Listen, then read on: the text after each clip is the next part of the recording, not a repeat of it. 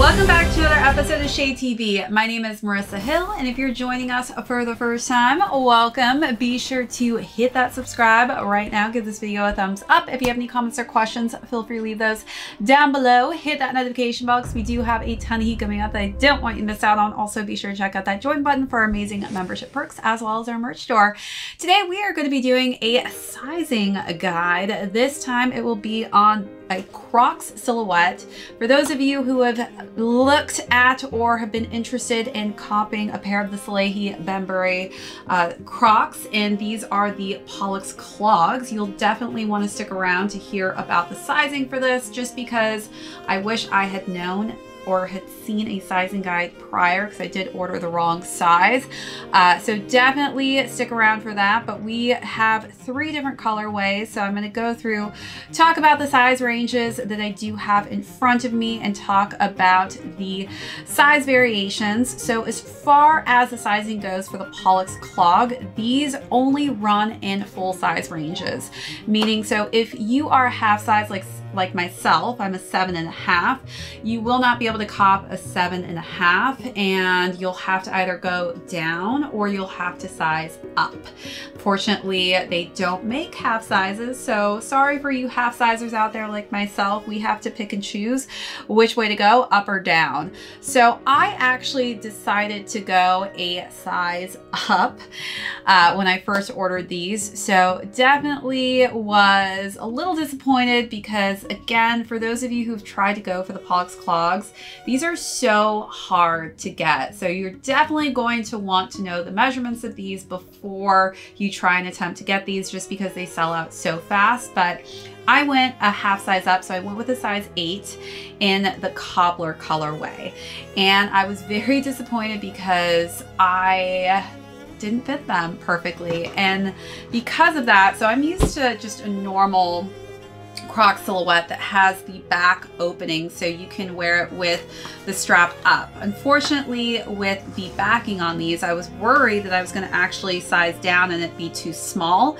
So I was going to be stuck with a croc that just didn't fit and I wasn't able to manipulate this with the strap.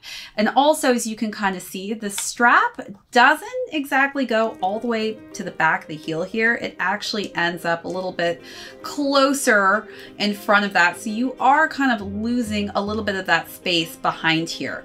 So in calculating that in the images, I thought, hmm, makes sense to actually go half a size up, but it definitely is much larger than expected. So even with the strap down, I still feel like my foot is sliding in and out of this just because there's so much extra room in the clog itself. So I would recommend going half a size down. So I did get a size seven. So as you can see, it is a pretty pretty major difference here. So you can see how much larger that size gap is. Uh, and as far as just the regular, you know, croc goes, I feel like these do run on the larger side. So I do feel like this fits me to a T. I don't have like a lot of extra space or room in these, but definitely as far as like whether or not I want to have extra room, this was just too much room going up half a size. So I would recommend sizing down if you again are in that size range as myself, which is that half size range of a seven and a half or whatever your size may be. These do run on the larger side. Again, the strap even, you know, doesn't even make a difference. I feel like this is very flexible as well. So if you do need that extra backing, it will bend and go a little bit farther back if that is something that you may need.